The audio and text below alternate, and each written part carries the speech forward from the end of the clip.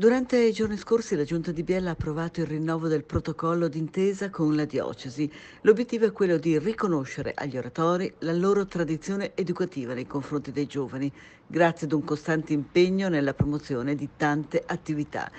Ed è stato così siglato il protocollo d'intesa tra il sindaco di Biella Claudio Corradino e Don Gabriele Leone, presente anche l'assessore alle politiche giovanili Gabriele Bessone. Il protocollo prevede l'erogazione di un contributo di 30.000 euro.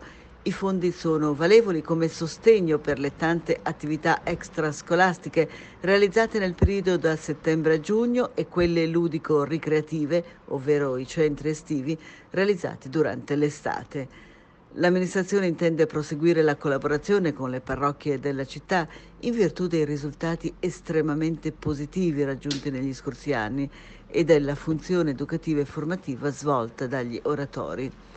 Come sottolinea l'assessore all'istruzione e alle politiche giovanili del comune di Bella, Gabriella Bessone, l'oratorio è una istituzione fondamentale per tutte le famiglie e nonostante la pandemia abbia fatto ridurre in parte alcune attività, riconosciamo l'importanza del lavoro degli stessi.